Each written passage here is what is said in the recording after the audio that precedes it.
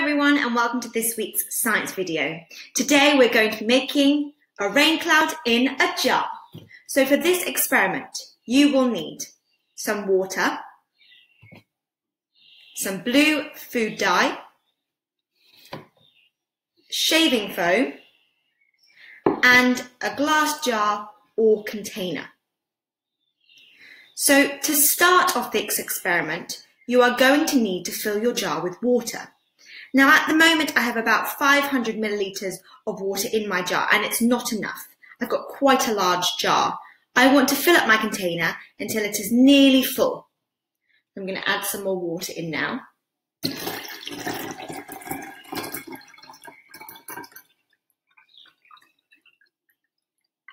Now, as I said, my jar is rather large. You might you might want to use a smaller container. That's absolutely fine.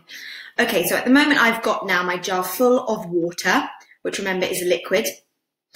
And this is going to be representing the atmosphere. And I'm going to now pour some shaving foam so it floats on the top of my water. So I've got a makeshift lever here, which I'm going to use to scoop out my shaving foam.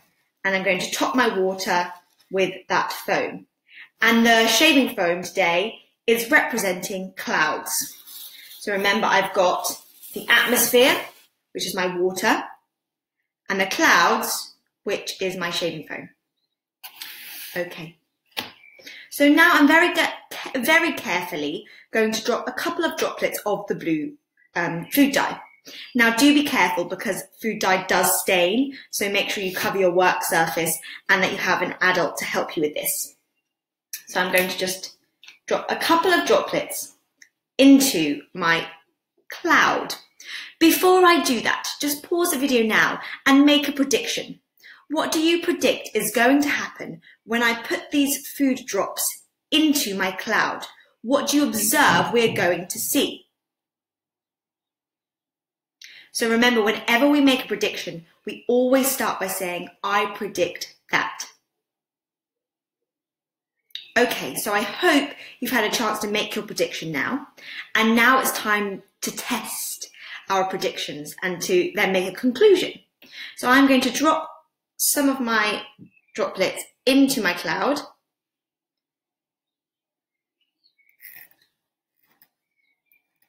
And then the fun thing, that fun thing happens. We then need to wait and we need to observe to see what happens. So it may take a little while, depending how thick your cloud is. And hopefully what you can see is happening is that my food dye is coming through my cloud and it is starting to rain. I'm going to show you up close now. So I have made rain in a jar. Now, to vary this experiment, you could try adding different amounts of food colouring. You could make your clouds thicker, you could use less water, and you could see the difference. Compare the difference of what happens when you alter the controls that you, you have used. So let's think about the science behind this. Well, as I said, the water represents the atmosphere and the shaving foam represents the clouds. And what has happened is that my cloud has become really heavy because it's become filled with, with lots of water droplets. And then those water droplets have broken through the cloud and it's caused precipitation. Now, precipitation refers to rain and snow. And what we're seeing now is a representation of rain. So when it rains, it's when the cloud becomes so heavy that the raindrops burst through it and it causes precipitation. Now, this is one part of the water cycle, which is a journey, a cycle of how it rains. And we have looked at this in school where we've looked at evaporation, condensation, and precipitation. But we'll continue to look at this in the next couple of videos. I hope you have fun having a go at the experiment yourself. And don't forget to conclude after you've tested your experiment. And then why not write up about your experiment and the results that you find?